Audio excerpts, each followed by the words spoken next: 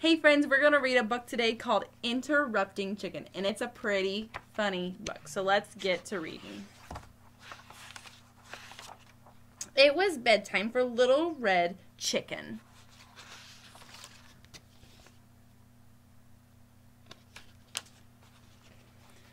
Okay, my little chicken, said Papa. Are you all ready to go to sleep? Yes, Papa. But you forgot something. What's that? asked Papa. A bedtime story.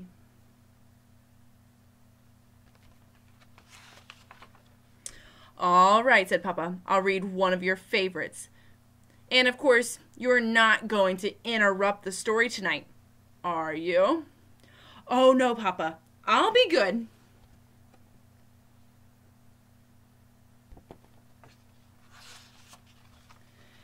Hansel and Gretel were very hungry. Deep in the woods, they found a house made of candy.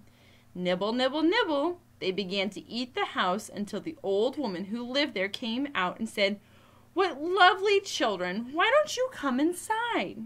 They were just about to follow her when. Out jumped a little red chicken and she said, Don't go in, she's a witch! So Hansel and Gretel didn't. The end.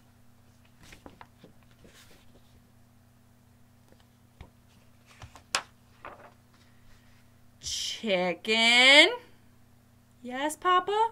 You interrupted the story. Try not to get so involved. I'm sorry, Papa, but she really was a witch. Well, you're supposed to be relaxing so you can fall asleep. Let's try another story. I'll be good.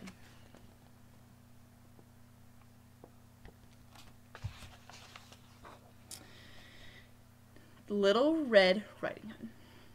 Take this basket of goodies to Grandma, said Little Red Riding Hood's mother, but don't stray from the path. The woods are full of danger. Red Riding Hood skipped along through the deep woods. By and by she met a wolf who wished her good morning. She was about to answer him when. Out jumped a little red chicken and she said, Don't talk to strangers. So Little Red Chicken uh, Little Red Riding Hood didn't. The end. Oh, rats. Chicken. Yes, Papa. You did it again. You interrupted two stories and you're not even sleepy.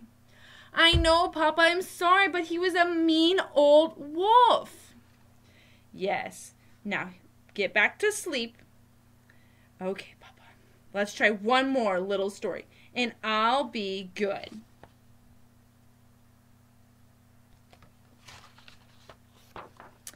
Chicken Little. Chicken Little was hit on the head by an acorn. The sky is falling, she thought.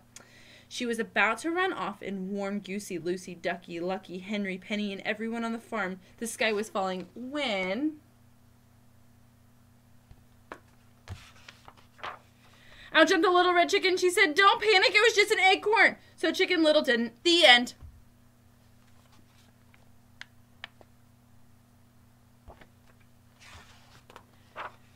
Chicken. Yes, Papa. You did it again. Oh, Papa, I couldn't let that little chicken get all upset over an acorn. Please read one more story. I promise I'll fall asleep. But chicken, said Papa, we're out of stories. Oh no, Papa. I can't go to sleep without a story.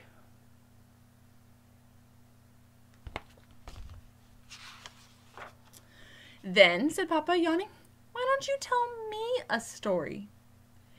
Me tell a story? said Little Red Chicken. Okay, Papa, here we go. Um, um,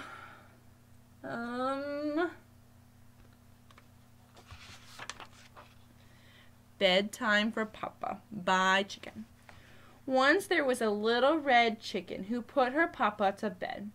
She read him a hundred stories. She even gave him warm milk, but nothing worked. He stayed wide awake all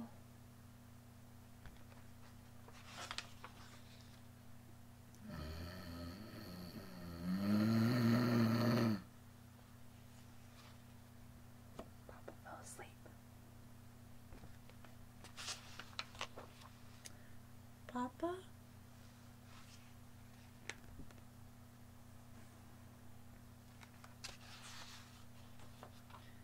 Good night, Papa.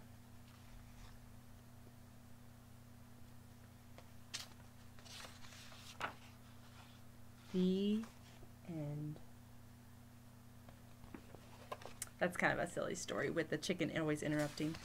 How do you feel when someone interrupts you? Do you really like when someone interrupts you? I know I don't usually like when someone interrupts me. I kind of get upset and sometimes annoyed when people interrupt me. So I want you to tell me how you feel when someone interrupts you. All right, friends, have a spectacular day.